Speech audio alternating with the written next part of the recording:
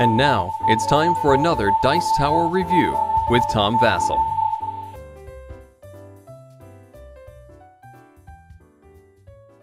Superstocks is a retheming of Fund Manager. Superstocks is from Playoff Games, and if you look back through my reviews, you'll find Fund Manager. I reviewed it uh, just a little under a year ago.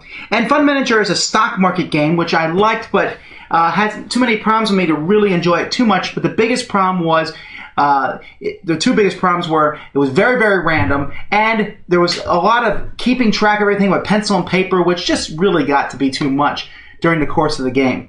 So they've actually gone back and redone these things in Superstocks. So and it has become quite a fun, good, uh, economic stock market game. I like it. It has a few.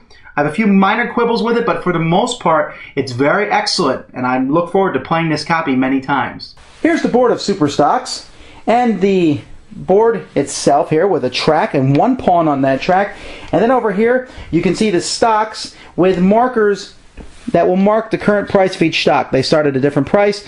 Uh, for example, Blue Motors starts at 9, Green Heavy Industry starts at 12, Orange Bank st starts at 10, and Purple Venture starts at 5. There's a marker over here to keep track of each of the rounds. We have plenty of tokens for each of the shares uh, in 10, 50s, and 100s. There's a certain amount of shares that are available during the first four rounds, 300. After that, the amount of shares goes up depending on which of the stocks. There's paper money included in the game, which is a sad state of affairs, but what do you do? Some people just insist on using paper money. And a couple decks of card. Each player gets four tokens the, during each round.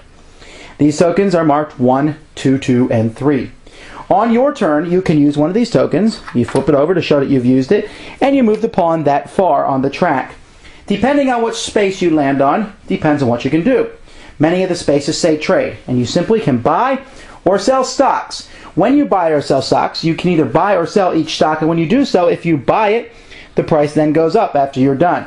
If you sell it, the price goes down. And so you can control the price of stocks by when you buy them. Other than that, you're only limited by the number of euros that you have at that point in time. There are also market news spaces on the board, and this is randomness in the game to be sure, where it will tell you uh, different things. Like, for example, this card says that Orange Bank has gone down two. Here it goes down four.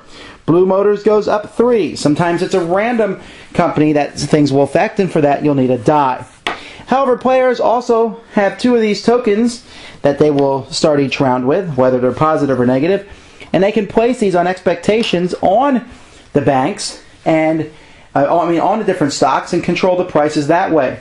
Also, there's a new space in the board, uh, analyst, where you can pay 100 euros and you can see which market news is coming up next, which can give you kind of a heads up, and then you can immediately buy or sell. And then there's secret information, which is a chance that a different stock will go up or down. For example, here, this stock, there's a rumor that they owned real estate which will be dissolved from the green belt zone. The, room, the chance of this rumor being true is pretty bad.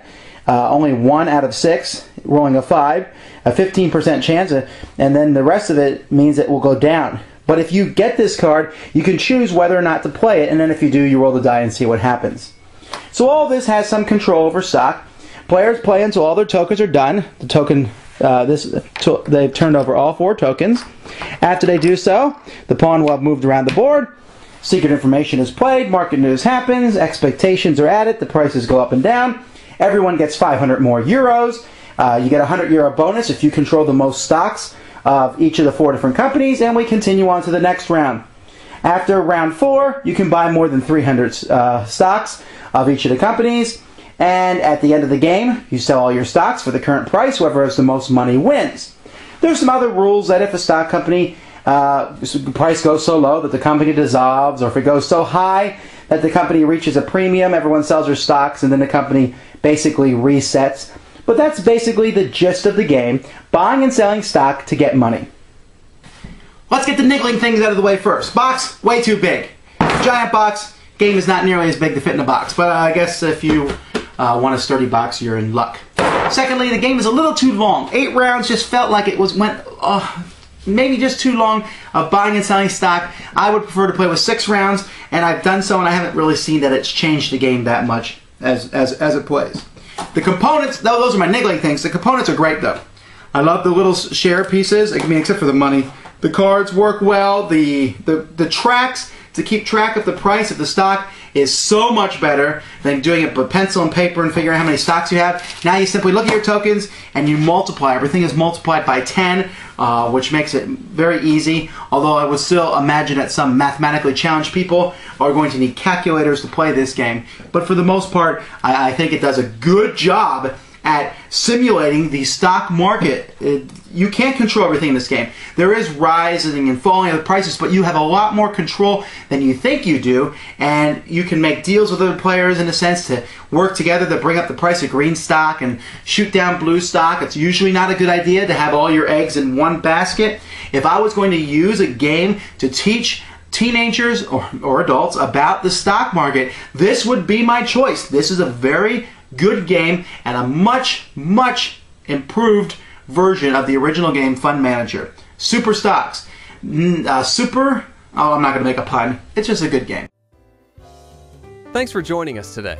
For more written, audio, and video reviews, as well as the number one board game podcast, check out the website at www.thedicetower.com. Until then, this is Eric Summerer, and you've been watching The Dice Tower.